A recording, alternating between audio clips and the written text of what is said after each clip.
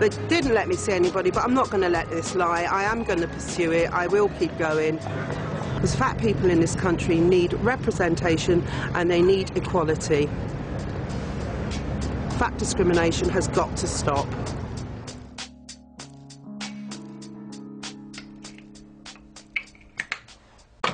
The roly-poly kissogram job has turned Mandy's body image around.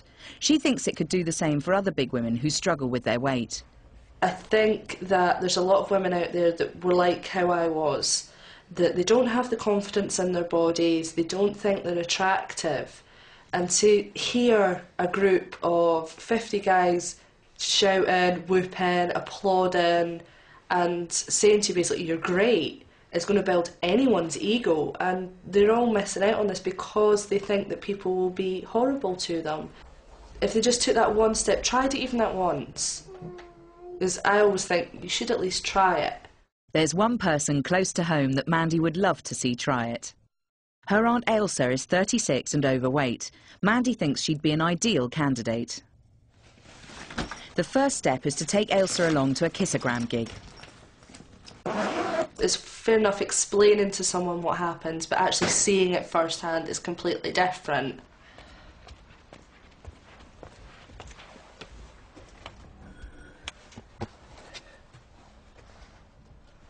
Aunt Ailsa has always had problems with her weight. Hello. Hi, babe. Come in. Good to see you. Hello.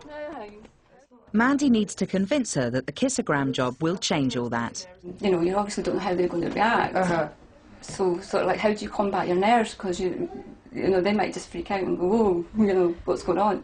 Uh, if they freak out and they don't want anything to do with it at all, because I've had people run away, you just grab the mate.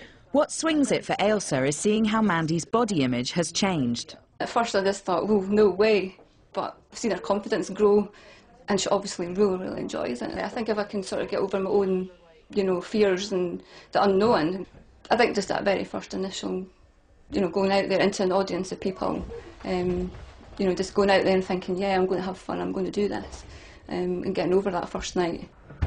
I've got an open mind at the moment.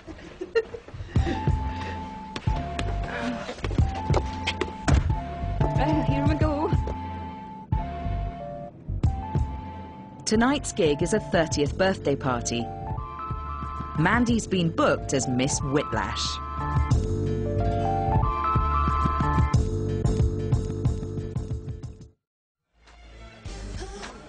Mandy's enrolled Aunt Ailsa as her assistant for the night.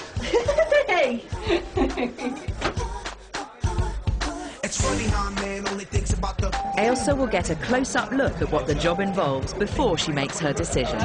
I can't wait to see you in action. Big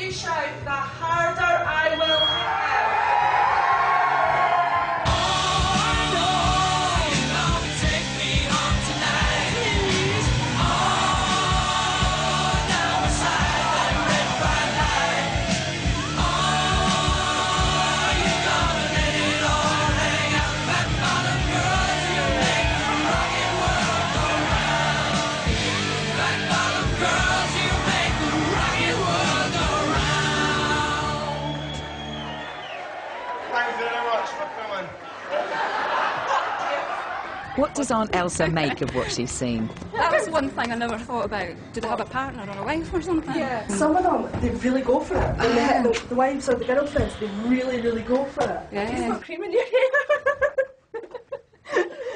Hazard of the job. Despite the hazards, it looks as if Aunt Ailsa's signing up to be a fat and proud kissogram. It's got me excited. It's really, you know, made me think more about it. So yeah, I think a couple more and yeah, I might be ready to go. Yep, as I said, if I can do as good as you, I'll be happy. In Blackburn, community carer Fiona is getting ready to go out. Tonight, the Bigger Fun dance class is going ice skating. I'm going ice skating. Before joining Bigger Fun, Fiona was too embarrassed about her size to do any activity in public. A lot of girls have, who go to the dance class have all got a bit more confident now, and we're not bothered what we look like when we're dancing. Like before, you kind of feel self-conscious, but when you go to big Fun, it doesn't matter, does it? I think they're coding in a bit off for us to skate in. I think they'll need it for health and safety.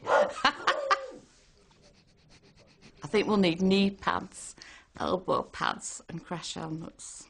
Oh, I'll tell you, I've got leggings on underneath as well. Extra padding. See you later. Right, here we go.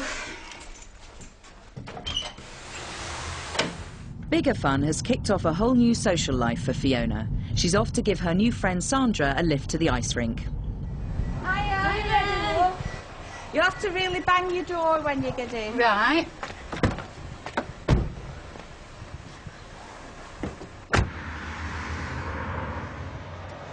Susan's impressed. Ten of her Bigger Fun ladies have braved the trip.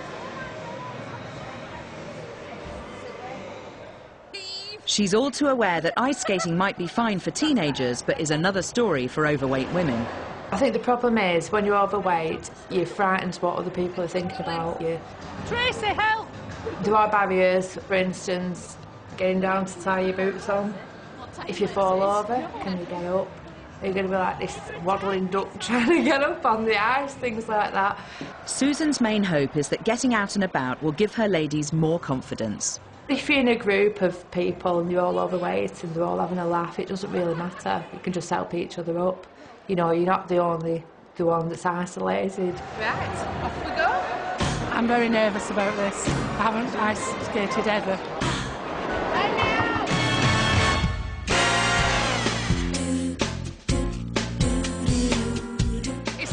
Stilettos with a couple of vodkas at the same time. I Really don't want to do this.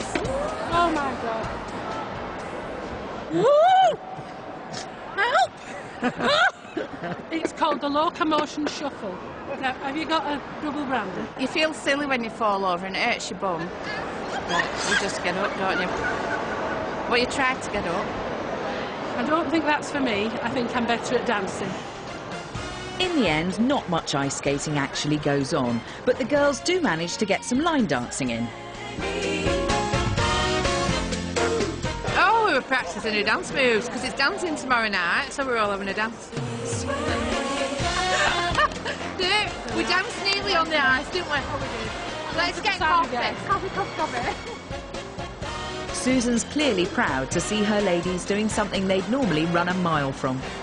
It was really, really good. Not the actual skating part because that was absolutely terrifying, but just being the group. Everybody's really gelled. They're all really bonded, and uh, they're all planning next trips. Because there's a few of us said that we're, we're going to um, have a few lessons if they're cheap enough. So that's all happened because of bigger fun. We've been talking about the dry slope skiing next. So that'll be really amazing, I'm sure. I'm really look forward to that one, honest.